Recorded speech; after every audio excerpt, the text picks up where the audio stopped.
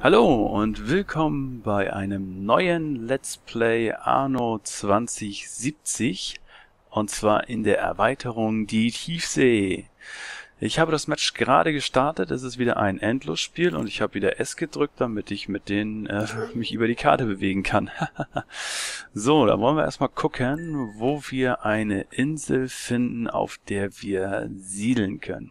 Wir sind wieder Egos, ich habe ähm, Echos, Echos, ja, Echos, ähm, Echos, keine Ahnung, Latte, ähm, ich habe wieder NPCs mit eingestellt, ähm, dass hier auch ein bisschen Action ist. Wir haben wieder die Piraten dabei, die, äh, die sollen natürlich dann auch ein bisschen auf die Mütze kriegen. Diesmal sind wir ja ein bisschen besser gerüstet als in der letzten Folge, in der letzten Aufnahme, in der letzten Runde.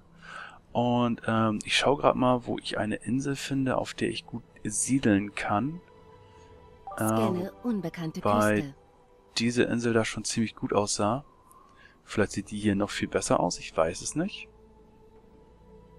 Gucken, was sich hier so gleich ergibt. Also ich finde es schon wichtig, die Startinsel gut auszusuchen, auch wenn die Arche da vorne steht. Aber guckt euch mal an, was das für eine Rieseninsel ist. Wobei, die ist genauso groß wie die andere, ne? Oh, aber, ne, was haben wir das letzte Mal gelernt? Wenn hier solche Dinger rumliegen, das kann nicht gut sein. Ja, die, das, die Raketenteile haben die Insel ziemlich verschmutzt. Na gut, ich nehme doch ähm, die Insel, wo ich gerade eben auch schon, äh, wo meine Arche auch schon steht und werde hier starten. Ich werde ähm, gucken, welche Küste ich nehme. Hier drüben ist ja wieder so ein, so ein praktisches äh, Industriegebiet mehr oder weniger. Guck mal, dann werde ich hier starten. Dann könnte ich mir hier so ein Gebiet abstechen, abstecken, wo ich meine Siedlung drinne erschaffe, die erste. Und dann könnte man vielleicht diese Insel, wenn ich schnell genug bin, äh, übernehmen für die Techs später, ne? Ach nee, da, sind, da liegen ja wieder die Raketenteile. Das wäre ja ein bisschen doof, wenn wir äh, auf einer äh, grundsätzlich verseuchten Insel die Techs ansiedeln wollen. Und die Techs werden auch äh, in diesem Let's Play eine, eine riesige Rolle spielen äh, weil mit dieser Erweiterung äh, die Tiefsee äh, sind die ja äh, extrem äh, aufgeputscht worden, sage ich jetzt mal. Äh, da sind einige Features dazugekommen, die ähm, ja richtig spannend und richtig cool sind. Vor allen Dingen kann man jetzt auch, äh, soweit ich das gesehen habe, äh, die Stromversorgung über mehrere Inseln ausbauen. Äh, sprich, dass ich vielleicht eine Insel habe, äh, in der was weiß ich, Strom erzeugt wird oder unterirdisch wird äh, oder unter Wasser wird Strom erzeugt. Und das kann ich dann nutzen für meine ähm, anderen Inseln, wenn ich da halt keinen Platz mehr drauf habe oder ähm, ich sage, ich möchte da jetzt keinen Sonnenreaktor draufstehen haben oder sonst irgendwas. So, aber jetzt wollen wir erstmal den Kontor hier platzieren. Bam. So, und dann mal gucken, welches Gebiet ich denn jetzt überhaupt habe. Genau, ich würde nämlich gerne, nämlich diesen Streifen hier, so wie er hier schon ist, ähm, dafür nutzen, dass das so mein Anfangsgebiet von der Siedlung ist. Jetzt brauche ich hier nochmal ein, zwei äh, Warendepots mehr. Ob das jetzt so schon... Äh, ist das überhaupt ein Warendepot, was ich habe? Ja, ne? Ja. Das sieht so komisch aus. Äh, ob das jetzt schon so passt, von der von der Geschichte her, ob äh, na äh, na was wollte ich jetzt sagen, ob das schon so passt, dass da auch die Häuser dran äh, perfekt dran gebaut werden können und so weiter und so fort. Das werden wir dann später alles sehen. Beziehungsweise da bin ich dann auch gerne bereit, äh, gegebenenfalls halt die, die Warendepots wieder abzureißen und zu sagen, okay, äh, ich muss es halt äh, anders äh, hinstellen, anders formieren.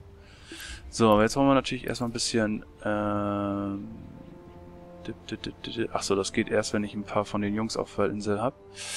Dafür brauchen wir jetzt erstmal das Stadtzentrum. So, wie rum wollen wir denn bauen? Lirum, Larum, Löffelkrumm. Im Grunde wird es ja so aussehen, dass ich das irgendwie... Also, ich könnte ja... hm, Ich weiß es irgendwie noch gar nicht. So, irgendwie ist das alles so ein bisschen blöd gerade. Ähm, ja, warte mal, da, da, da, drei, eins, zwei, drei, noch ein. Ich mach's mal so. Ja, das ist doch gut. Dann werden wir hier eine Straße entlang ziehen. Sup. und hier auf der Seite eine Straße entlang ziehen. Dann war das, glaube ich, hier drinnen jetzt ideal, um eine Feuerwehr quasi später anzubauen, ne? Ja, müssen wir mal gucken. Jetzt hier nochmal... Mal schauen, wie wir das später alles machen. Ähm, ich weiß, in der letzten Folge, in der letzten Episode, die ja auch, glaube ich, erst gestern rauskam, aber äh, von der Aufnahme her ist es schon... Ähm, ja, seht ihr, da habe ich jetzt schon den ersten Fehler gemacht, dass das Depot da eigentlich viel zu dicht dran steht. Na gut, okay. Müssen wir halt mal gucken. Ich hätte ja auch, ich hätte ja gar nicht das Warendepot gebraucht, ne, weil durch das Dorfzentrum, durch das Dorfzentrum äh, äh, erweitert sich ja die Karte auch. Ah, ich Ochse. Naja. Was wollte ich sagen? Genau. Äh, ihr habt vielleicht gestern erst die letzte Episode gesehen, wo ich ja die andere Karte aufgehört habe. Äh, und jetzt quasi mit Tiefsee anfing, fange. Äh, aber in Wahrheit äh, liegen da locker, äh, weiß gar nicht, eineinhalb Wochen dazwischen ähm, wo ich mir, ja, nee, eine Woche ist das, glaube ich, genau. Äh, ja, und dementsprechend bin ich jetzt auch erstmal wieder am gucken. Äh, das, was ich mir da letzte Woche angeguckt habe, ist zwar alles schön und gut gewesen. Ich muss ein bisschen aufpassen, dass ich dann auch gleich noch äh, diese Steinfabriken überhaupt bauen kann. Ja, wie gesagt, das, was ich mir letzte Woche angeguckt habe, ist alles schön und gut.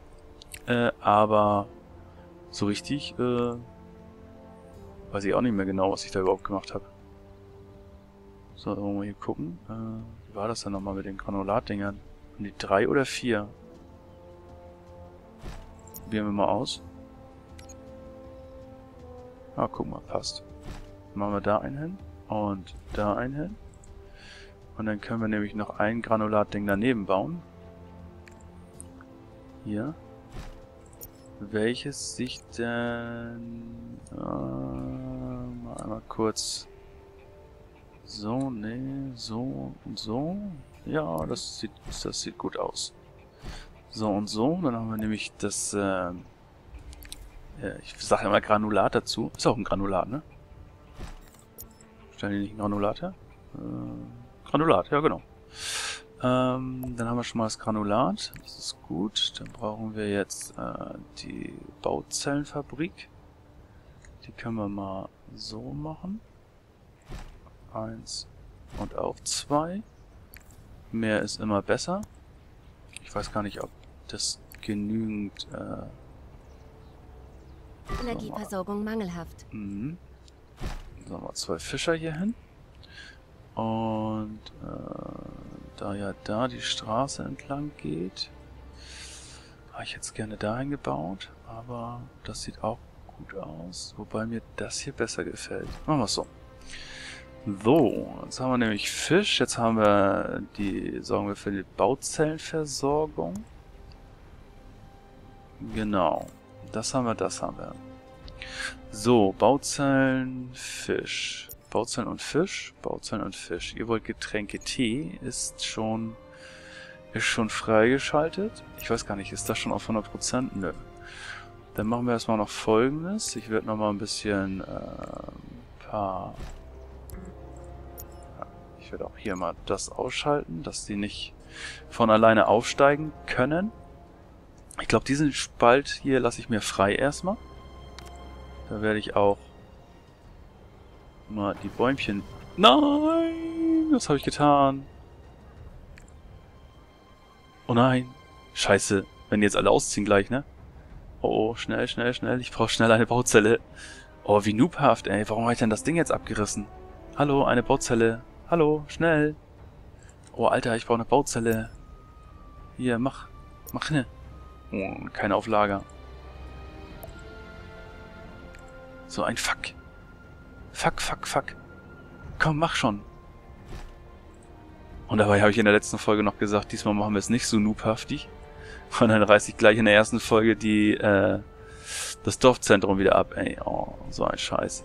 Na gut, äh, genau, diese, diesen Abschnitt werde ich mir frei halten. Da werde ich immer reinbauen, äh, was die, die Leute so brauchen für ihre Bedürfnisse. Dass die das dann immer schön gleich in ihrer Nähe haben. Jetzt ich, wollte ich gerade wieder mit WASD äh, steuern. Ich weiß gar nicht, ob das geht. Könnt ihr mir das mal in die Kommentare schreiben, ob man mit das umstellen kann? Das kann man bestimmt umstellen, ne? Also wenn ich da irgendwie einfach nur in die Einstellung gehe und die Tasten neu belege, dann werde ich das wahrscheinlich machen können. Ähm, ich sehe gerade, die haben zwar 100%, die aber noch nicht. Das heißt, hier müssten wir nochmal ausbauen, dass wir da noch ein bisschen mehr haben. Und dann müssten wir auch mit T langsam anfangen. Äh, aber vorerst machen wir diese Geschichte. Ich glaube, das ist ziemlich cool, ne? Zwei dahin und zwei dahin. Wobei, ja, die sind vier. Äh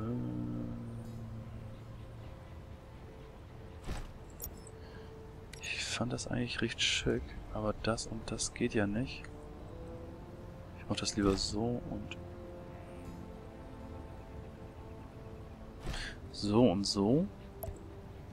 Und der zweite kommt dahin und kann einen da reinsetzen und einen da reinsetzen.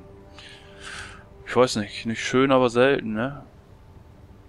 Ich habe ja auch das letzte Mal festgestellt, das kann ja auch irgendwie, also das Granulat kann ja auch irgendwann zu Ende sein. Genau, hier, das ist das nämlich.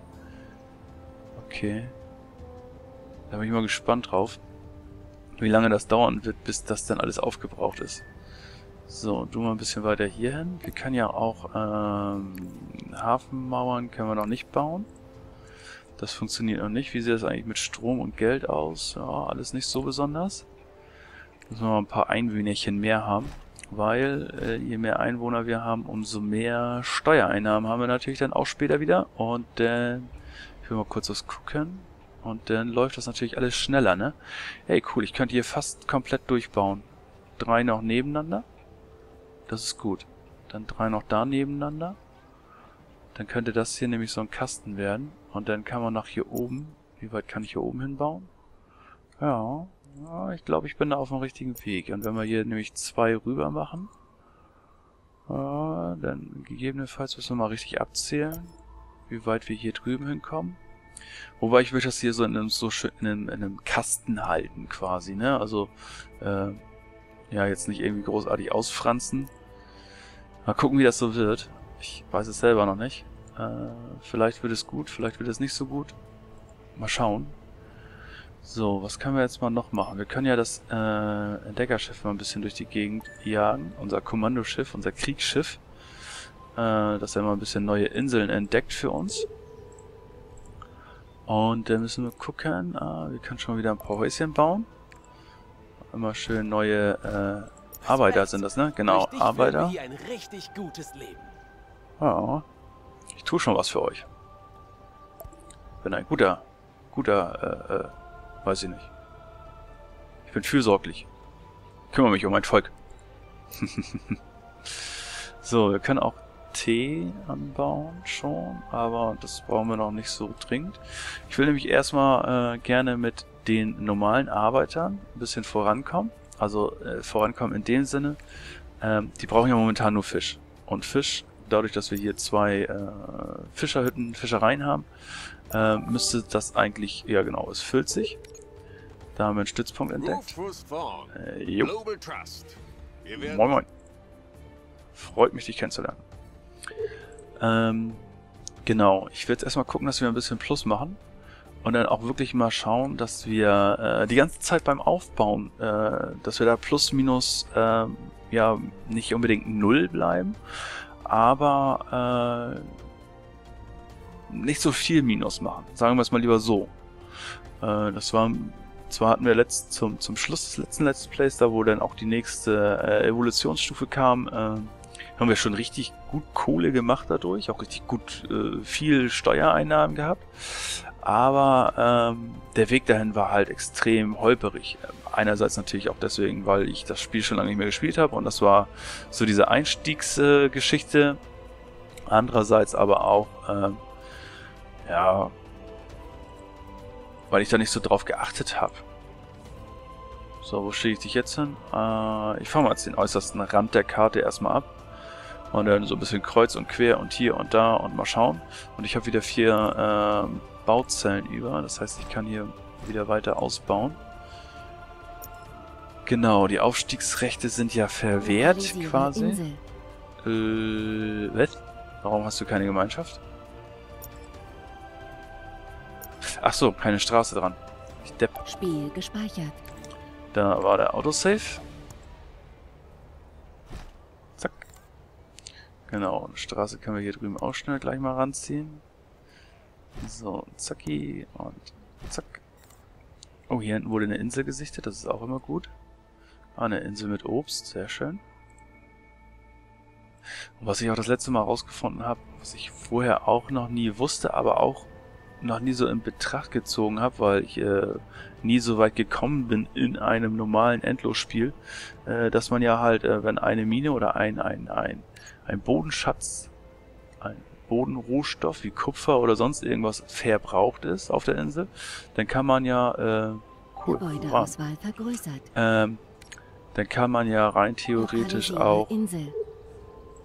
kann man quasi diesen, diesen äh, Bergbauplatz dennoch nutzen, um die restlichen äh, Bodenschätze abzubauen. Das wusste ich auch noch nicht und äh, ja, cool.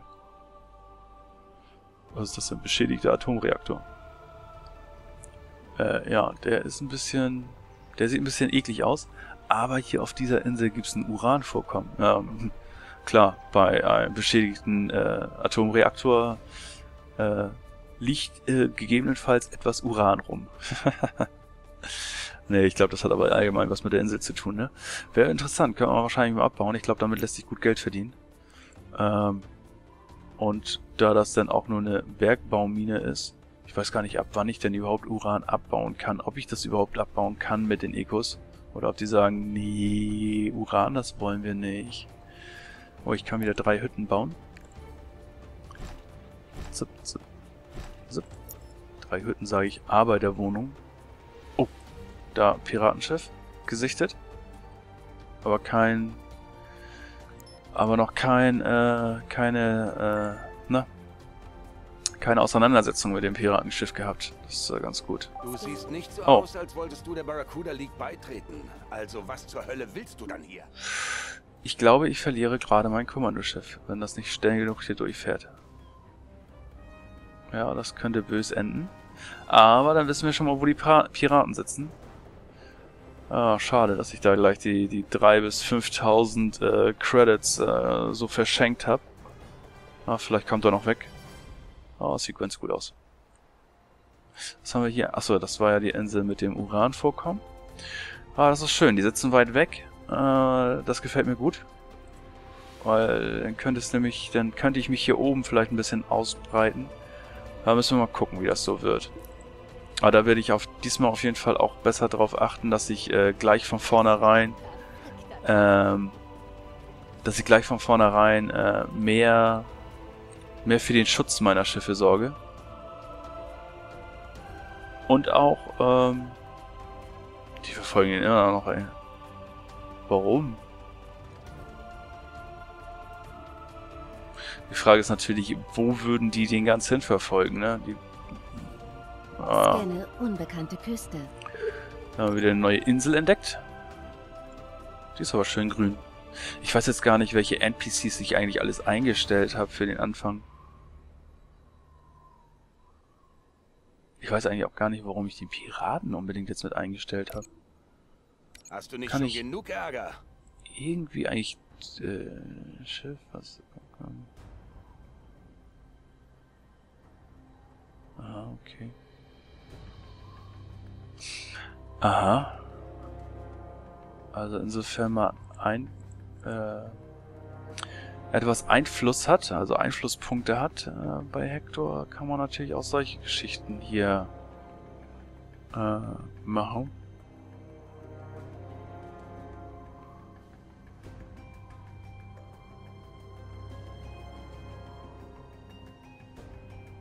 Mhm. Warnung. Fahrzeug unter Beschuss. Oh nein. Da haben sie es echt geschafft, hinter ihnen herzukommen. Dann machen wir das doch mal. Äh, dauert weiden? 30. Ja, mach mal. Verdient hast du es nicht. Aber die Barracuda League ist einverstanden. Schön. Jetzt müsste mein Schiff eigentlich in Sicherheit sein, ne? Hallo, lass mein Schiff in Ruhe. Was ist, wenn er es jetzt abschießt? Aber wahrscheinlich gilt das nicht für Schiffe, die äh, schon im Angriff waren, ne? Schade. Hätte ja mal klappen können, ne? Dass der Penner sich daran hält. Dieser Sektor ist Barracuda-Gebiet. Kommandoschiff fertiggestellt. Na, danke. Initiiere Steuerungsroutinen. Gut, dann bleiben wir erstmal auf der eigenen Insel und machen hier noch ein bisschen weiter und schauen mal. Ich will nochmal schnell ein paar Häuschen aufbauen. Und dann haben wir es eigentlich auch geschafft, dass wir deutlich Plus haben. Dann können wir uns jetzt mal der Teeproduktion quasi widmen. Aber das schauen wir uns in der nächsten Folge an. Ich bedanke mich bei dir fürs Zuschauen. Bis zum nächsten Mal. Tschüss.